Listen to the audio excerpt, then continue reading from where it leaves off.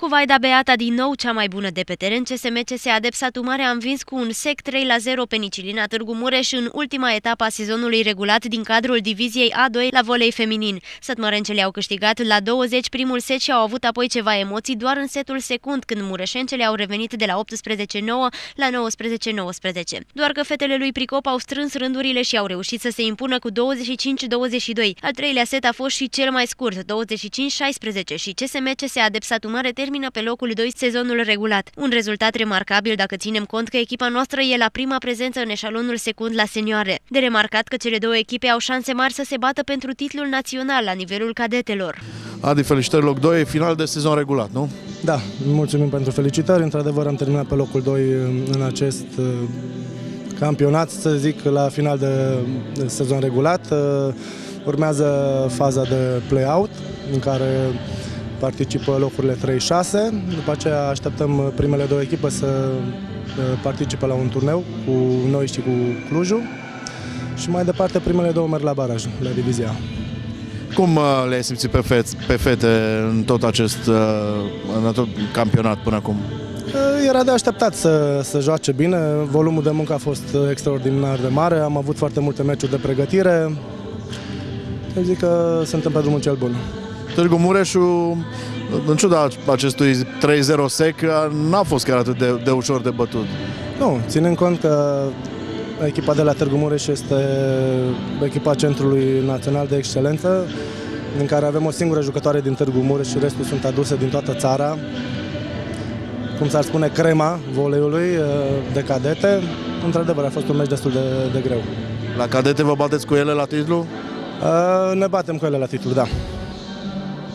Cum uh, vezi anul 2014 și play-off-ul? Cum o să, cum uh, o să fie? Care sunt favorite? Clujul clar, nu? Uh, Clujul probabil o să intre în prima divizie fără înfrângere. Sper să ajungem și noi la baraj. Sunt curios de echipa din Iași, care și ei își doresc să promoveze. Acolo o să fie marea bătălie. Așa cum bătălie e pe, probabil pe eleva ta, Beata a, pe Vaida Beata, da. Într-adevăr, e cea mai bună jucătoare din România la categorie de vârstă. Bineînțeles, sunt o grămadă de oferte pentru ea, dar ea își dorește să rămână aici și aici să evolueze. Cu toate că va împlini 23 de ani în august, Angelica Podină e considerată o veterană printre jucătoarele CSM-ului. Aceasta s-a declarat extrem de mulțumită de rezultatele de până acum și speră că în scurt timp să poată juca acasă și la nivel de primă ligă. Angelica, felicitări! Ne spera de bine pentru început, nu pentru primul sezon de Divizia 2. Da, mulțumim pentru felicitări. A fost un meci destul de greu, deoarece am pierdut în tur la ele 3-2, deși a fost un rezultat cam nesperat în tur. Ne-am bătut acum și da, un loc 2 nesperat pentru primul an de divizie, pe care sper să se vede munca pe care am. Cum de-ai venit acasă?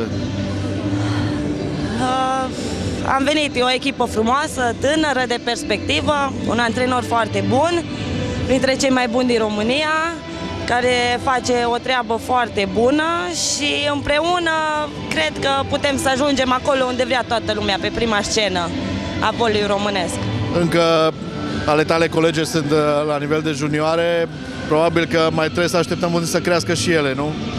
Da, da. E o perioadă foarte grea pentru un sportiv vârsta asta, 15-16 ani.